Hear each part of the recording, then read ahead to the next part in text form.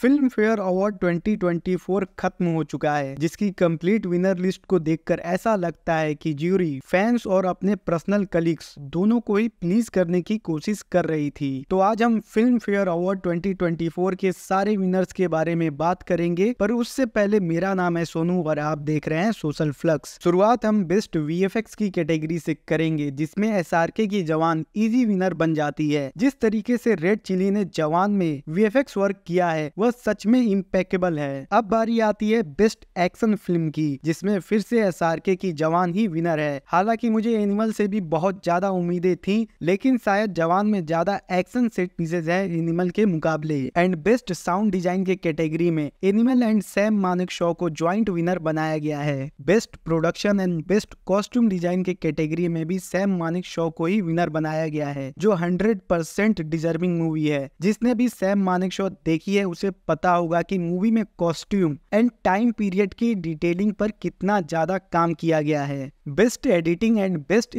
screenplay का award twelfth film को मिला है, जो 2023 की one of the best Indian movie थी। बेस्ट सिनेमेटोग्राफी का अवार्ड थ्री ऑफ़ अस को मिला है। अगर आपने यह मूवी नहीं देखी है तो सच में आप बहुत ही खूबसूरत सिनेमेटिक एक्सपीरियंस को मिस कर रहे हैं। बेस्ट डायलॉग के लिए रॉकी रानी की प्रेम कहानी को अवार्ड मिला है, जो मेरे लिए कहीं से भी इस अवार्ड के लिए डिजर्विंग नहीं है, क्योंकि twelfth fail and three of us के डायलॉग इस मूवी से फार बेटर एंड इम्पैक्टफुल थे। बेस्ट स्टोरी के कैटेगरी में जोरम एंड ओ एम को ज्वाइंट अवार्ड मिला है। यह मेरे लिए बहुत ही सरप्राइजिंग था कि ट्वेल्थ फेल को इस कैटेगरी में नॉमिनेशन भी नहीं मिला था। हर्षवर्धन रामेश्वरम को एनिमल के लिए बेस्ट बैकग्राउंड स्कोर का अवार्ड मिला है, जो मेरे लिए तो थोड़ी भी सरप्राइजिंग बात नहीं थी। एनिमल का बीजीएम शायद बॉलीवुड सिनेमा का one of the best BGM है। हर्षवर्धन का बीजीएम एनिमल मूवी का सोल है, जिस हिसाब से उन्होंने हर सिचुएशन को समझकर बीजीएम कंपोज किया है, वह सच में प्रेज वर्दी है। Best playback singer male and female का award Bhupinder Babbal for Arjan, Vailly and Shilpa Rao for Besharam Rang को मिला है। श्रेया घोषाल को इस कैटेगरी में तुम क्या मिले एंड वे कमलिया दोनों के लिए ही नॉमिनेट किया गया था, जो मेरे ख्याल से ज़्यादा डिजर्विंग थी इस अवार्ड के लिए। अमिताभ भट्टाचार्य को तेरे वास्ते के लिए बेस्ट लिरिक्स का अवार्ड मिला है बेस्ट म्यूज़िक एल्बम के लिए एनिमल को अवार्ड मिला है। एनिमल में एक्चुअली बहुत ही अच्छे अच्छे गाने हैं, जो मुझे यह डिजर्विंग विनर लगती है।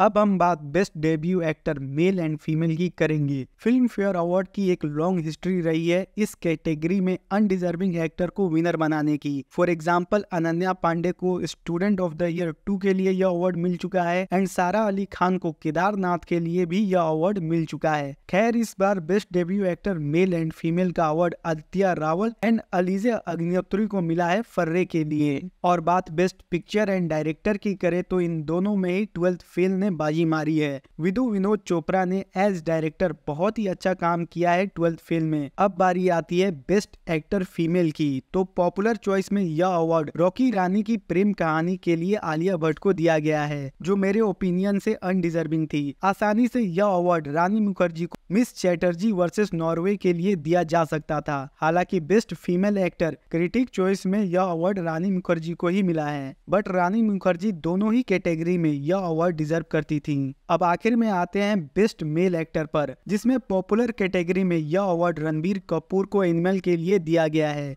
वहीं क्रिटिक्स चॉइस की बात करें तो ट्वेल्थ फेल के लिए विक्रांत को यह अवार्ड मिला है और मेरे ख्याल से दोनों ही एक्टर इक्वली डिजर्विंग है इस अवार्ड के लिए। हमने देखा है कि रणबीर कपूर ने कैसे अपना ट्रांसफॉर्मेशन किया था, बिल्कुल एक ऐसा बीस्ट बनने के लिए, जिसे किसी को मारने में थोड़ा भी अफसोस नहीं होता। एंड विक्रांत का परफॉर्मेंस आई थिंक ऐसा है जिसको वर्ड में आप डिस्क्राइब नहीं कर सकते। उन्होंने अपने कैरेक्टर के हर नुआंस पर काम किया था। Throughout the movie Vikrant ने जैसी अपनी एक्टिंग रेंज दिखाई है ट्वेल्थ फ़िल्म में। उसके बारे में बात शायद फैंस सालों तक करेंगे। तो यह थी complete list Filmfare award की। वैसे आपका क्या ओपिनियन है इन विनर्स पर? हमें कमेंट बॉक्स में ज़रूर बताइएगा।